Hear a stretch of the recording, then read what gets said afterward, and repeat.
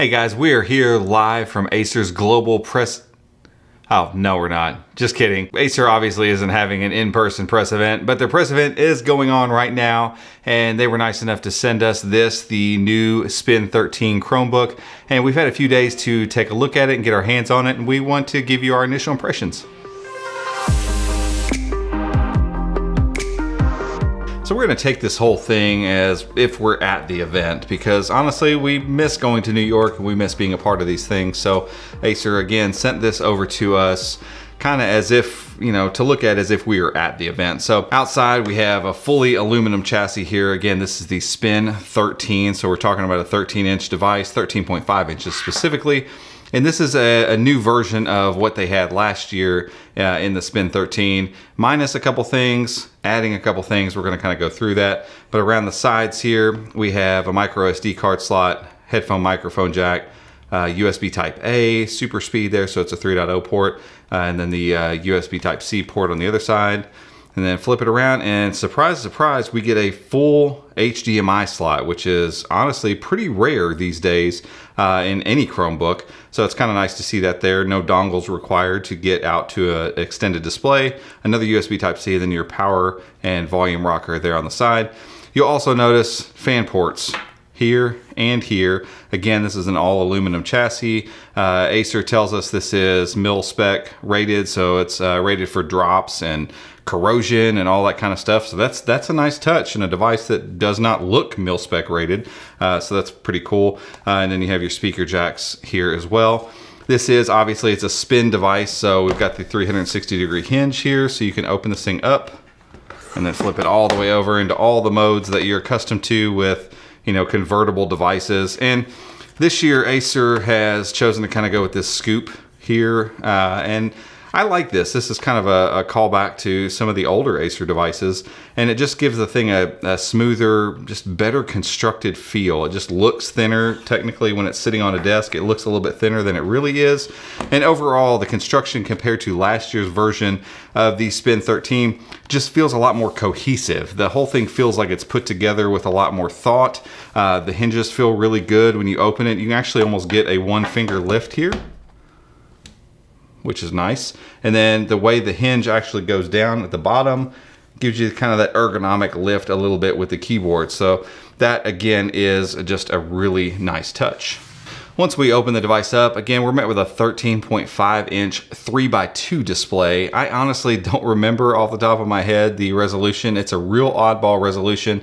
It's approaching uh, 1440 P. So it's approaching the Quad HD resolution here. So think uh, Pixelbook, uh, think the Pixel Slate, that kind of resolution, but you're getting a 13.5 inch screen. And one thing that struck me with this particular display, eh, when I looked at it, I worked from it for a couple days, and I realized why I like it so much is that vertically, it almost is the same vertical space as a 15.6 inch 16 by 9 panel. Obviously, you're losing some space over here on the sides, but for most things on the web, the side is kind of throwaway space. So when you're talking about web browsing and web apps and that kind of stuff, you almost feel like you're working on a 15.6 inch display and it's a 13.5 inch device. And so the entire thing doesn't feel that much bigger than like a 13 inch device. So it's uh, it's very compact for the screen real estate you're getting here. And then additionally, it's high res and it's very, very bright. We have it turned down quite a bit so that it doesn't blow out the camera, but we were measuring this thing somewhere around like 450 nits in brightness. So it's crazy bright. The screen is an absolute win here.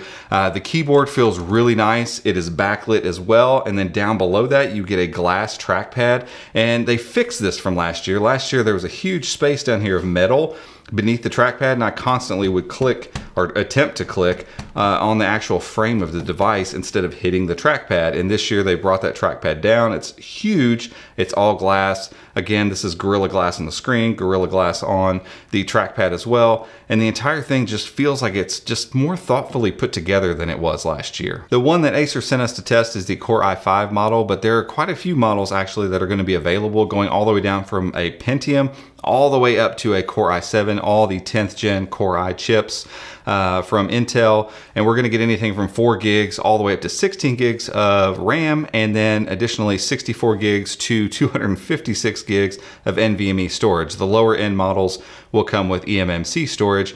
This device here has the NVMe storage. And so far, I can tell you this thing feels great. It looks great on the table.